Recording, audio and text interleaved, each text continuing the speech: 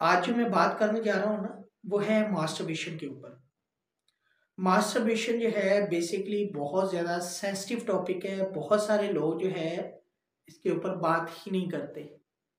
ये एक psychological problem है। अगर हम जो है सिर्फ़ इसको हैबिट के तौर पर लेकर चले तो ये हैबिट नहीं है। हैबिट से बढ़कर आगे साइकोलॉजिकल प्रॉब्लम है। हैबिट जो है वो होती है जो इंसान को जो है एक हेल्दी लाइफस्टाइल की तरफ़ लेकर है ऐसा बिहेवियर ऐसा काम जो इंसान की लाइफ में जो है मोटिवेशन पैदा करे और उसके जो है बिहेवियर को स्ट्रेंथन करे और उसकी लाइफ में जो है खुशियाँ लेकर आए बहुत सारे जो है गोल जो है वो अचीव कर पाए अच्छी चीज़ हैबिट के जुमरे में आती है लेकिन ये बुरी चीज़ है इसमें जो है इंसान अपनी जो है फ़िज़िकल एफर्ट जो है उसको भी यूटिलाइज कर रहा होता है साइकोलॉजिकल स्ट्रेस को रिलीज़ भी कर रहा होता है मास्टरबेशन की अगर बात करें तो हमारी सोसाइटी में जब भी जो है लोग सेक्स के बारे में बात करते हैं तो कानों के अंदर जो है रुई जो है वो डाल लेते हैं। आँखों को बंद कर लेते हैं, मुँह को जो है सिलाई कर देते हैं। और जो है सिर्फ़ यही जो है वर्ड यूज़ करते हैं, अस्तगफिरुल्लाह, ये कैसी बातें कर रहे हैं? इसको तो शर्म ही नहीं आती, कोई हया नाम की चीज़ ही नहीं है। हम नहीं चाहते कि जो है हम अपने बच्चों को ये सारी चीज़ें सिखाएँ। हालाँकि सेक्स के बारे में जो है एजुकेट करना जो है फ़र्स्ट प्रायोरिटी पे जो है बच्चे के राइट्स है। जब बच्चा पैदा होता है तो फ़र्स्ट प्रायोरिटी पे यही आइडेंटिफाई किया जाता है, ये मेल है या फीमेल है अगर उसके सेक्स के ऊपर जो है उसको कैटेगराइज किया जाता है तो सेक्स एजुकेशन क्यों नहीं दी जाती? एक बहुत बड़ा जो है क्वेश्चन मार्क है। ये सेक्स एजुकेशन ना तो हमारी किसी ऑर्गेनाइजेशन के अंदर जो है प्रॉपरली जो है वो दी जा रही है।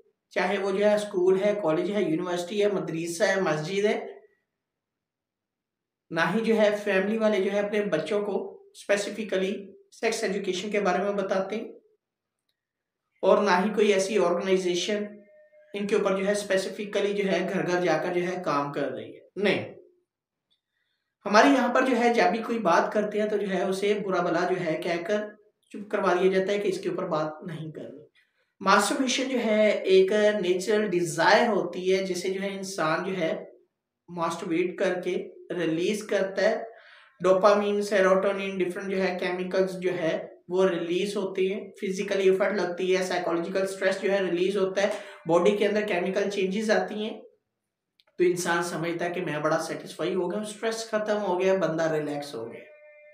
तो याद रखें कि चंद मिनट की जो सेटिस्फेक्शन होती है वो इंसान को जहनी बीमार भी कर देती है हमारे यंगस्टर जब जो है एक टीन एज के अंदर होते हैं तो इन्हें जो है प्रॉपरली सेक्स एजुकेशन जो है वो नहीं दी जाती और जो है ये हमारी सोसाइटी के अंदर होने वाली चेंजेस या कुछ जो है तब्दीलियों से जो है ये अपने जब जो है एहसास को जो है इम्प्लीमेंट करते हैं या उनके अंदर जब जो है फ़िज़िकल चेंजेस या बायोलॉजिकल चेंजेस आती हैं तो उन चेंजेस को जो है सही तरह एक्सेप्ट नहीं कर पाते और ना ही इन्हें एजुकेट किया जाता है और ये जो है, इस तरह के काम हमारी इन्वायरमेंट से जो है सीख कर करना शुरू कर देते हैं।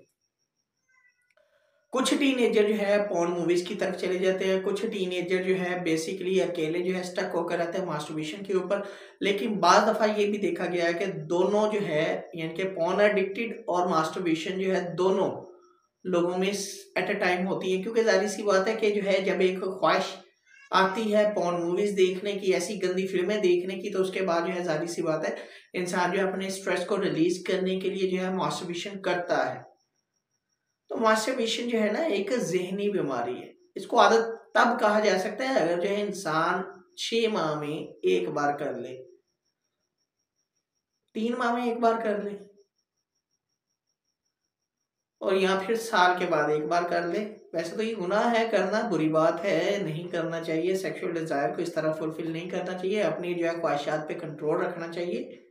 लेकिन मास्टरबेशन बहुत सारे लोग करते हैं और इससे फ़िज़िकल चेंजेस भी आती हैं और ये बीमारी इसलिए है, एक जहनी कि जब जो है एक दिन में दो बार, तीन बार, चार बार या जो है अनकाउंटेबल जो है क्वांटिटी तक वो इंसान चला जाए और बार बार करता रहे, इन्हीं चक्रों में लगा रहे और इसकी वजह से इसकी जो है फ़िज़िकल हेल्थ खराब हो जाए, जिसमानी तौर पर वीकनेस पैदा हो जाए, जहनी तौर पर बहुत ज़्यादा डिस्टर्ब हो जाए, सोचने समझने की सलाहियत मुतासर आ जाए, बेचैनी, गुस्सा, चिड़चिड़ापन उसके अंदर आ जाए, अपनी स्टडी पे फोकस ना कर पाए, अपनी जो है कारोबार पे, अपने बिज़नेस पे फोकस ना कर पाए जॉब पे फोकस ना कर पाए इसके अलावा जो है पीयर ग्रुप पर जो है, वो फोकस ना कर पाए। क्योंकि कुछ ऐसे केसेस भी जो है देखने में आते हैं कि जब इंसान जो है मास्टरबेशन का आदि हो जाता है, वो लोगों से हटकर एक कमरे तक अपने आप को महदूद कर लेता है। और जो है, यह ऐसी खाली जगह, जहाँ जो है उसे मास्टरबेशन करने के लिए आसानी पैदा हो, उन जगहों का इंतखब कर लेता है। इवन के वॉशरूम भी जो है इसमें काउंट किए जाते हैं। वहाँ बैठकर मास्टरबेशन करते हैं। अपने डिज़ायर को सेटिस्फाई करते हैं, इनके ये लोगों से कट जाते हैं। इनके जो है रिलेशन बहुत ज़्यादा डिस्टर्ब हो जाते हैं फैमिली वालों के साथ और जो है दोस्तों के साथ पीयर ग्रुप के साथ या सोसाइटी के साथ।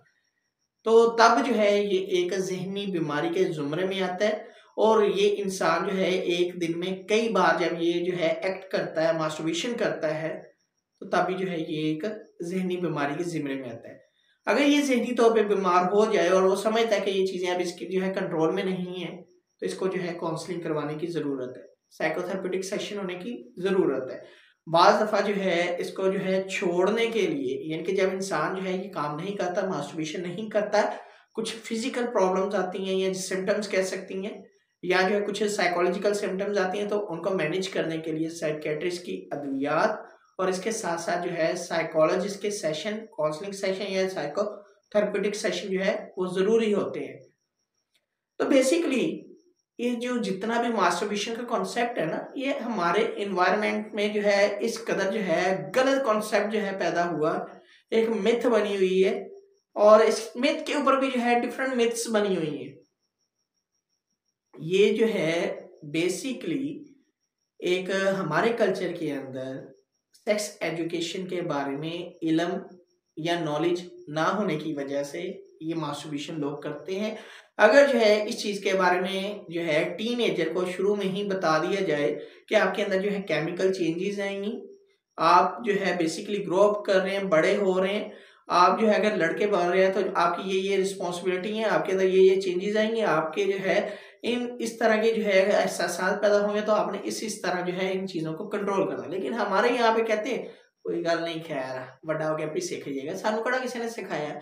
सीख ही गए हैं ऐसी भी? कोई गल नहीं, कुछ नहीं होता आप ही सीख जाएगा। जब ये, इस तरह के जो है, अल्फाज इनको सुनने को मिलते हैं ना तो ये लोग, ये बच्चे जो बड़े हो रहे होते हैं ये टाइम से पहले बहुत ज़्यादा बड़े हो जाते हैं। क्यों? ये गलत लोगों के हथे चढ़ जाते हैं। हकीमों के पास भागते हैं, बाबा जी हजरात के पास भागते हैं। ऐसे डॉक्टरों के पास भागते हैं जो इनकी ज़िंदगी का बड़ा गर्व कर देते हैं। वो इनसे सिर्फ़ पैसा बटोर रहे होते हैं।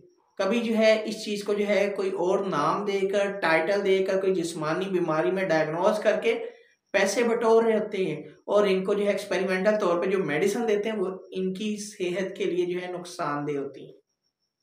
क्योंकि ये जो है बच्चे घर से छुपते हुए, दोस्तों से मशवरे करते हुए या जो है सोशल मीडिया से कंटेंट नंबर जो है फ़ोन नंबर लेते हैं, उन पर रबता करते हैं और जो है इस चीज़ को हाइड रखते हुए